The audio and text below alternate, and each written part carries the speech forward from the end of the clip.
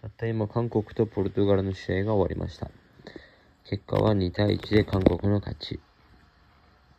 勝ちなんですけれども、1対1でずっと並んでて、後半アディショナルタイムで、ソン・フンミのドリブル突破からのワンゴール。これで2対1になり、韓国がグループリーグ突破です。アジアでオーストラリア、日本、韓国と3カ国アジアから選出されました。これはとてもすごいことです。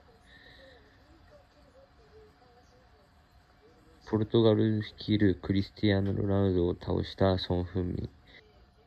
ポルトガルの試合には勝ったんですけど、結局また日本と一緒で勝ち点が並んでしまい得失点差になりました。ポルトガルの試合には勝ったものの、ウルグアイとベルギーの試合で韓国が決勝リーグに行けるかどうか、最後ビデオビデオをみんなで見てましたね。今回の試合はそんな試合ばっかりすごいハラハラさせられます。